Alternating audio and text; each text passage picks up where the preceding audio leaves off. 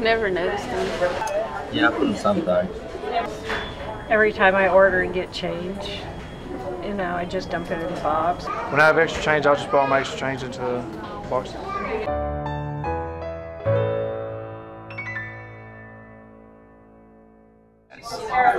Uh, to the child support.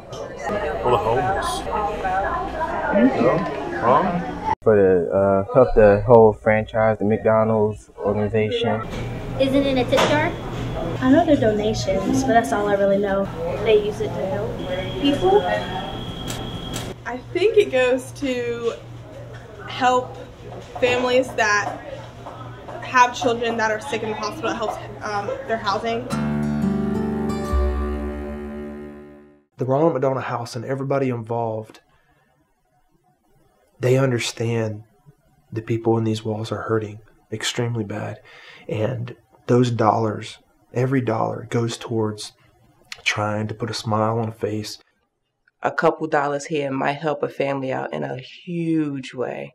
Less stress, more care for the child.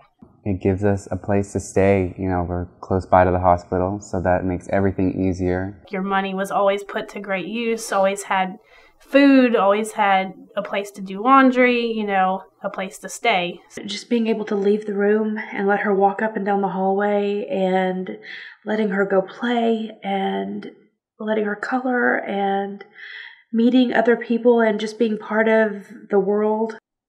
That's something that only the Ronald McDonald House can offer.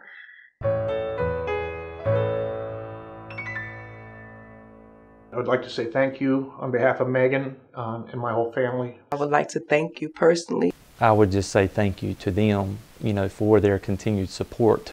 The fact that there's people out there that are so giving, that's amazing.